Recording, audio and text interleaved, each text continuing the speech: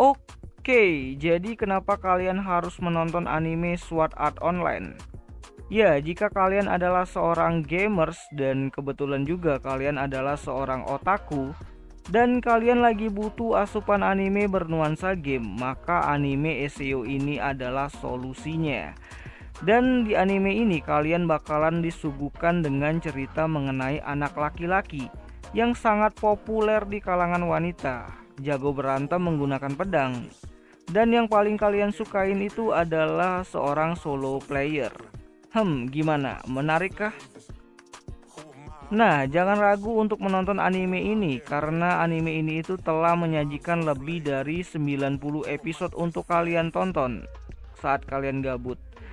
Dan kalian jangan khawatir mengenai grafis pada animenya karena anime ini itu adalah anak emas dari studio A1 Picture yang merupakan salah satu studio terbaik dalam hal visualisasi anime.